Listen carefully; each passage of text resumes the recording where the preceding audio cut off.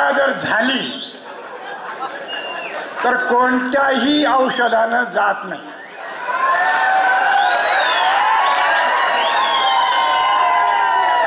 याचा मी पन्नास वर्ष साक्षीदार आहे. दोन हजार एक ते दोन हजार पाच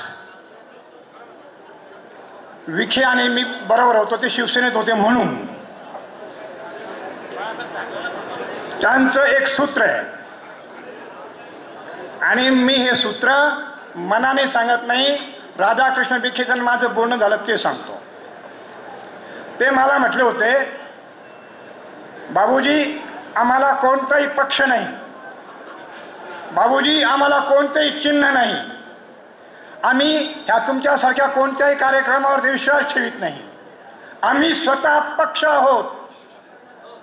आम्हाला आमचेच कार्यकर्ते आहेत. आम्ही तुम्हाला कवडीच्या भावातही विचारित नाही. तीच खरुजातही झालेली आणि मी उत्तरनगर जिल्ह्यामध्ये त्यांच्या विरुद्ध बोलताना जे सांगायचो ते सांगतो तुम्हाला. ते लोणीचे. लोणीमध्ये एक म्हसोबाचं मंदिर आहे. लोणीमध्ये म्हसोबाचं मंदिर आहे. त्या मंदिराचं वैशिष्ट्य असं आहे का तुम्ही काही करा. दहा ट्रॅक्टर लावा शंभर हत्ती लावा अजून काही असं ताकद लावा तो म्हसोबा हलतच नाही. तसा हा लोणीचा मसोबा जर इथं लोकांनी बसला तर हलणार नाही. लोणीचा मसोबा बोकांडी बसला तर हलणार नाही. आम्ही मुक्त भोगी आहोत. कोणाचंही भलं होऊ द्यायचं नाही. कुणालाही वाढू द्यायचं नाही. कुणालाही टिकू द्यायचं नाही यांचं सूत्र आहे. जो मोठा व्हायला प्रयत्न करील तो यांची बरोबरी करायला जाईल त्याचं वाटोळं करावं हे यांचं तंत्र यांचं शास्त्र आहे. मला एक हिंदीमधला दोहा आठवतो. राम राम तो सब कहते हैं. राम राम तो सब कहते हैं. ठग ठाकुर और चोर. ठग ठाकुर और चोर। लेकिन जिस राम नाम से ध्रुव और प्रहलाद करे, जिस राम नाम से ध्रुव और प्रहलाद, वो नाम है कुछ और। हे ठग, ठाकूर चोर यांनी बुरखा घातलाय।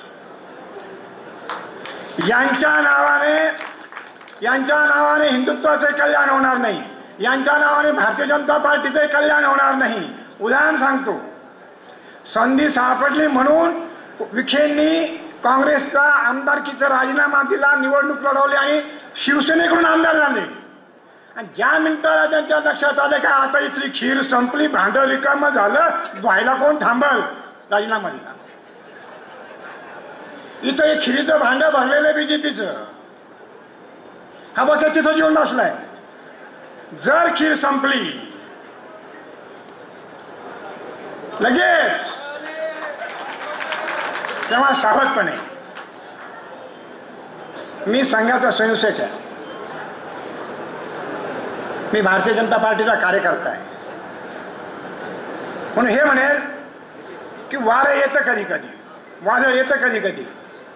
पण दिलीप मी फार पूर्वीपासून मित्र मानलेले आहे.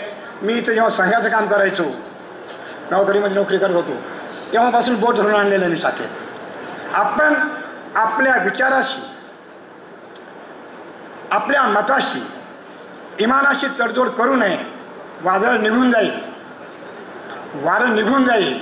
ही खरुजं इथून जाईल. तिकडून तिकडे जातो आणि इकडून जाईल. पण तोपर्यंत दम धरावं. दम जर धरला बाबांच्या साईबाबांच्या व वचन सांगताना माझं बोलणं पूर्ण करतो. साईबाबांचं वचन आहे श्रद्धा आणि सबुरी. विचारावर श्रद्धा ठेवा. काळाच्या सबुरीच्या मैदानात थांबा. यश तुमचंच आहे. धन्यवाद.